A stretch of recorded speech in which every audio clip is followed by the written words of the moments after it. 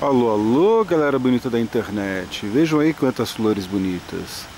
Essas flores todas fazem parte de um jardim, de uma praça pública muito bem conservada. Olha lá a fonte, bem lá do outro lado, com muito mais flores. Olha aí que praça maravilhosa. Passa aqui no meio dessa praça uma espécie de trem, mas um trem silenciosíssimo e super confortável, com Wi-Fi, uma mistura de bonde com com trem-bala é algo fantástico. Não deu tempo pegar a filmadora para pegar ele passando aqui, mas é muito legal. tirei uma foto e depois você confere, confere no blog.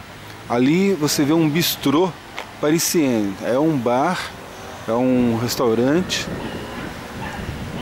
que vende frutos do mar, vende um monte de coisa legal.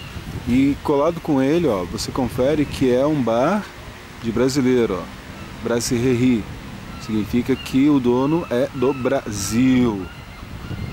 Ou casado com alguma brasileira, né? E colocou esse nome.